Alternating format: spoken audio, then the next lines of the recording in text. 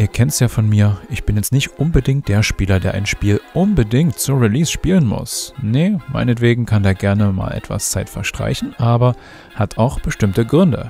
Die werde ich gleich nochmal kurz aufreißen, aber es gibt eben auch ein paar Spiele. Sofern es denn einen Nachfolger geben würde, würde ich mir den einfach schnellstmöglich vornehmen wollen. Und welche Spiele das sind, dazu gleich auch mehr. Aber erst einmal hallo allerseits und willkommen zum Wort zum Sonntag mit dem Sendeplan der 18. Kalenderwoche. Ein für mich sehr entscheidender Faktor, warum ich ein Spiel erst später spiele, ist einfach, dass das Spiel vollständig sein soll. Es sind noch DLCs angekündigt, direkt zu Release, die dann einfach später folgen sollen. Und da ist es dann für mich eigentlich relativ klar, spielst du eben erst, wenn das Spiel komplett ist. Ich mag es einfach nicht so, aus dem Spiel rausgerissen zu werden. Ich spiele lieber Spiele in einem Rutsch durch. Und dann war es das fürs Erste, bis ich es vielleicht mal wieder anschmeiße. Ja, es gibt da zwei Ausnahmen. Erst letztes Jahr Shadow of the Tomb Raider und Kingdom Come Deliverance, aber auf die kommen wir später noch zu sprechen.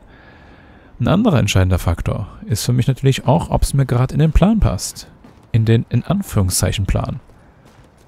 Denn wenn ein Spiel gerade rauskommt, aber ich weiß, bei dem einen Projekt habe ich noch 100 Folgen vor mir, ja dann wird das halt nichts. Ihr kennt das ja von mir, Dauerbrenner F1 und Dauerbrenner, das Regenbogenspiel. Die laufen und dann gibt es eben noch den dritten Slot. Für eben aktuell Life is Strange und geht jeden Tag eine Folge raus, um die 40 Minuten. Und würde jetzt ein anderes interessantes Spiel kommen, dann müsste ich das ja dazwischen schieben. Da würden ja beide Spiele relativ zu kurz kommen. Weil Life is Strange spiele ich ja zum Beispiel aktuell zweimal die Woche. Und dann würde es ja so sein, dass ich dann das eine Spiel, zum Beispiel Life is Strange, nur einmal in der Woche spiele und dann eben auch nur einmal in der Woche das neue Spiel. Und deswegen muss es eben für mich in den in Anführungszeichen Plan passen. Ob gerade ein Projekt zu Ende geht oder nicht, das ist entscheidend. Aber ein weiterer, der dritte entscheidende Faktor, ist einfach, dass die Spiele einfach mit der Zeit sogar noch besser werden können. Ja, ich sag, Spiele werden mit der Zeit nicht schlechter, da ist was dran. Aber sie können auch besser werden, oder? Sie können eher besser als schlechter werden. Wobei, geht auch in die andere Richtung, denn das Spiel bekommt einfach über die Wochen und Monate hinweg einfach Updates. Die sollten ein Spiel natürlich besser machen, aber eben, jetzt kommt's, könnte natürlich auch in die falsche Richtung gehen. Aber das sind so für mich erstmal die drei entscheidenden Punkte für, warum ich ein Spiel nicht sofort angehe. Na, und da will ich euch jetzt mal nicht weiter auf die Folter spannen. Welche Spiele würde ich denn, sofern es denn einen Nachfolger gäbe, welche würde ich denn sofort anschmeißen wollen? Da fangen wir einfach mal bei A an und da geht's mit Alan Wake los. Würde dann Alan Wake 2 rauskommen, ich würde es mir sofort vornehmen wollen. Gilt aber auch genauso für Quantum Break. Aber ich nenne die beiden gerade zusammen. Remedy hat ja gesagt, die wollen ihre Spiele ab einschließlich oder insbesondere Quantum Break und danach einfach in einem Universum abspielen lassen. Alle sind irgendwie miteinander verknüpft. Auch wenn das eine Spiel Alan Wake heißt. Ja, ihr kennt ja vielleicht Quantum Break. Könnte davon ja auch was in Quantum Break vorkommen. Und es gibt nach Quantum Break ein Spiel im Remedy-Universum, was ich mir ja noch gar nicht vorgenommen habe, was ja schon längst draußen ist, sogar schon mit allen Inhalten. Und zwar Control. Bin ich schon sehr gespannt drauf. Habe ich mir auch schon gegönnt und auch schon heruntergeladen, aber ist gerade der falsche Zeitpunkt, denn welches Spiel läuft gerade an dritter Stelle und da habe ich mich ja ganz besonders drin verliebt. Ne? Aber Control habe ich schon sehr weit oben auf meiner Liste. Damit könnt ihr in absehbarer Zeit rechnen. Weiter geht's im Kontext mit Dishonored. Spezieller Fall, denn da gibt es aktuell noch kein Spiel, was angekündigt wurde für setzt die Dishonored-Reihe einfach fort. Ist ja auch irgendwie verständlich, denn das Spiel Der Tod des Outsiders ist ja soweit abschließend für die Serie. Aber ich habe es ja auch schon damals angesprochen, meinetwegen könnte man da auch noch sehr gut weitermachen, auch mit schon bekannten Charakteren. Wer könnte da, ich will jetzt nicht zu viel verraten, aber eine Rolle einnehmen? Oder generell, wie könnte es weitergehen? Habe ich ja schon in der Tod des Outsiders angerissen. Aber das Problem ist halt, da wurde noch überhaupt gar nichts angekündigt. Aber Dishonored könnt ihr sicher sein, wenn da ein Spiel wieder rauskommen würde, ich bin da. auf Zack. Ich weiß, es gibt ein Spiel, hieß das Deathloop. Ich habe es mir schon notiert, aber ich weiß es gerade nicht auswendig. Ich werde es jetzt auch nicht suchen. Das soll so ähnlich sein, auch von den Arcane Studios. Naja, habe ich aber auch auf den Blick oder im Blick. Und wenn wir schon bei D sind, machen wir weiter mit Dying Light. Da, anders als bei Dishonored, gibt es ja schon seit geraumer Zeit einen Nachfolger, der ja auch dieses Jahr rauskommen soll. Dying Light 2. Und da muss ich eigentlich gar nicht mehr sagen. Dying Light hatten wir ja erst vor kurzem mit dieser Erweiterung. Nach so vielen Jahren wird das Spiel immer noch unterstützt. Das ist echt grandios, was da Techland an den Tag legt. Und die arbeiten fleißig an Dying Light 2. Bin ich gespannt. Das nächste Spiel. Die Far Cry-Reihe. Ist ja mit Far Cry 6 auch schon ein weiterer Titel in Aussicht. Sollte ja eigentlich schon zu Beginn diesen Jahres rauskommen, wurde aber verschoben. Und die Far Cry-Reihe, ja, macht einfach Spaß. Ist auf jeden Fall eine meiner Lieblingsreihen. Und generell, die Spiele, die ich hier heute speziell nennen werde, das sind einfach Spiele, Spielereien, die mir einfach besonders wichtig sind. Heißt nicht, dass Spiele, die heute nicht genannt werden, mir nicht wichtig sind, aber komme ich später nochmal drauf. Bei einem besonderen Beispiel komme ich später nochmal drauf. Die F1-Reihe. Soweit eigentlich klar.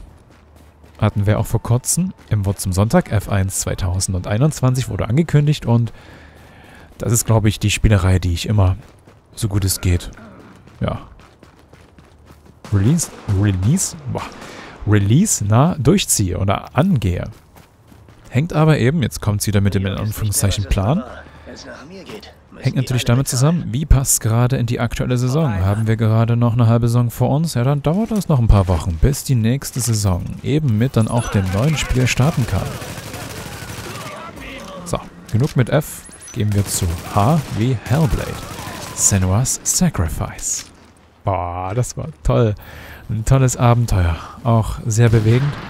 Und der nächste Teil, Hellblade Senua's Saga, steht ja auch schon bereit. Zumindest wird er entwickelt und sollte dann womöglich dieses Jahr rauskommen.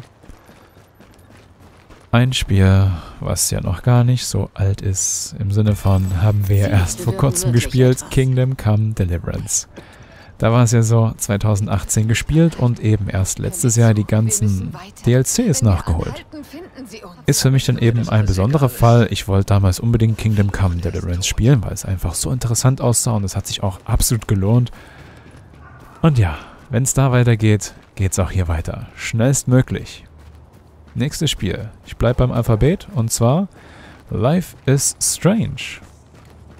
Hat sich so ergeben wie lange ich Life is Strange schon auf meinem PC installiert hatte und ich einfach nicht die in Anführungszeichen Zeit gefunden habe. Ich habe sie mir einfach nicht genommen, das ist die Wahrheit.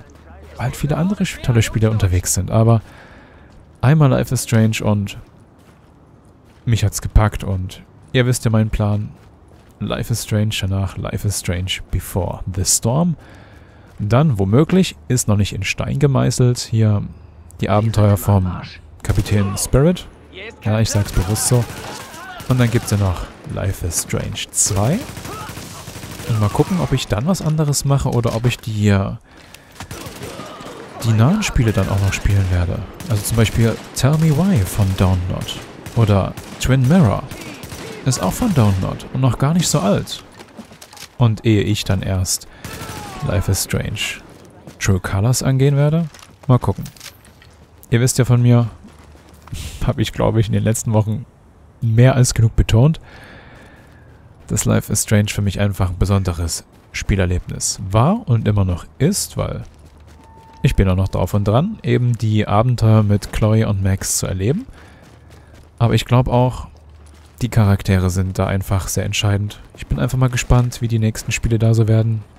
Aber Life is Strange, True Colors, da mich die Life is Strange-Reihe gepackt hat, würde ich dann auch so schnell es geht angehen, sofern es denn ein Spiel ist, was nicht in Episoden rauskommt, wie eben Life is Strange. Mal gucken. Ein Titel habe ich noch. Die Tomb Raider-Reihe. Shadow of the Tomb Raider. Genauso wie Kingdom Come Deliverance. 2018 gespielt. Und dann eben letztes Jahr erst die ganzen weiteren Inhalte nachgeholt. Es ist leider noch kein neues Tomb Raider angekündigt. Dieser Neustart-Trilogie mit dem 2013er Tomb Raider, mit Rise of the Tomb Raider und Shadow of the Tomb Raider wurde abgeschlossen und seitdem gibt es noch keine neuen Informationen. Es ist schon schade, ich würde so gern wieder mit Lara auf Abenteuer gehen. Das sollte sich schnellstmöglich ändern. Da muss schnellstmöglich wieder ein Spiel angekündigt werden. Ah. So, das waren die Spiele meinerseits, die ich eben angehen wollen würde, sofern es da eben ein neues Spiel geben würde. Aber die Spiele, die jetzt nicht genannt wurden, sind mir jetzt nicht bedeutend unwichtiger. Nee, aber ich will es eben etwas eingrenzen. Ich will es nicht zu sehr ausarten lassen. Das waren jetzt einfach mal die Spiele, die wir schon hatten.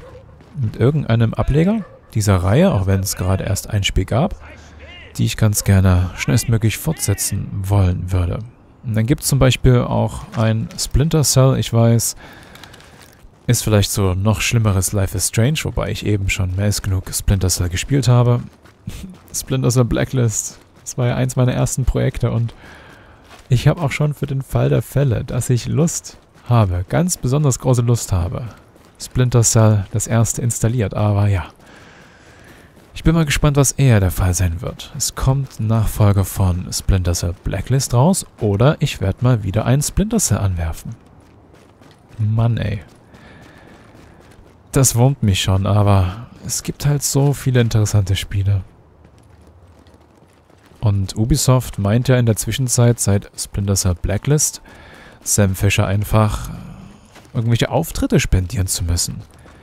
Finde ich zwar an sich nicht schlecht. Er taucht ja in Ghost Recon Wildlands auf und auch eben in Rainbow Six Siege, aber Sam ist ein Einzelkämpfer, der braucht ein eigenes Abenteuer, Ubisoft. Seit Blacklist 2013, ne? Seit acht Jahren wartet Sam auf ein Abenteuer. Das ist so fies. Naja.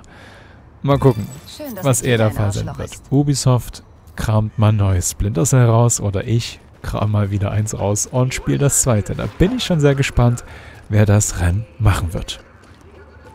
Das waren jetzt meinerseits acht Spiele. Wenn es da einen neuen Ableger geben würde, Alan Wake Quantum Break mal nebeneinander gestellt, die ich da schnellstmöglich angehen möchte. F1 kann man eigentlich auch ausklammern, denn F1 ersetzt ja eigentlich F1, also sind es eigentlich sieben Spielereien. Aber stellt euch mal einen Ernstfall vor. Es kommt zum Beispiel ein neues Kingdom Come. Hm, jetzt denke ich mich gerade am Namen auf.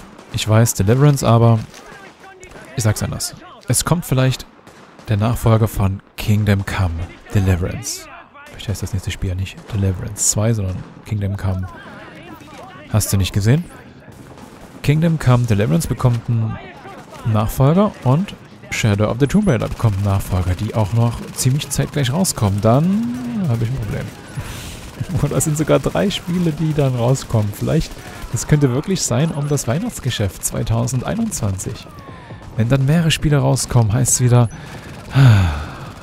Decisions würde da jemand sagen. Oder einfach Entscheidungen, Entscheidungen, die einfach getroffen werden müssen. Und es gibt, glaube ich, Schlimmeres, als sich zwischen vielen tollen Spielen entscheiden zu müssen. Ich glaube ja, da geht es einigen bedeutend schlechter. Und ich kann es eh nicht beeinflussen. Ich kann mir einfach ein Spiel raussuchen, was mich gerade am meisten interessiert. Und das weiß ich heute selbst noch nicht. Ich habe, wie gesagt, keinen wirklichen Plan. Ich habe ein paar Spiele, die bei mir jederzeit mal ins engere Blickfeld für spielst du jetzt bald rein oder eben rausrutschen, aber ich habe keinen Schimmer. Das entscheide ich dann, wenn eben ein Spiel oder eine Reihe einfach zu Ende geht, relativ spontan. So, jetzt wisst ihr erstmal Bescheid, welche Spiele da bei mir auf einer besonderen Liste stehen, sofern es da mal wieder Nachschub geben würde.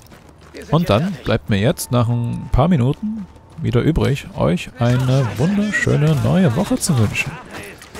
Und natürlich, das ist ganz wichtig, habt einfach viel Spaß mit dem, was ihr tut.